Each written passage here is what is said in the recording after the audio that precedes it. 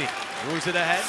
Couturier back to him. Konecny all kinds of life here in this one. Got it back to Couturier and across. Giroux drops it back. Point shot. Score! May have deflected. Provorov took the shot. It winds up in the net, and the Flyers tie this game at one. Terrific hard blast from Provorov with traffic in front. Konecny hanging in and around the front of the net. Giroux once again on the entry with a drop pass right in the wheelhouse.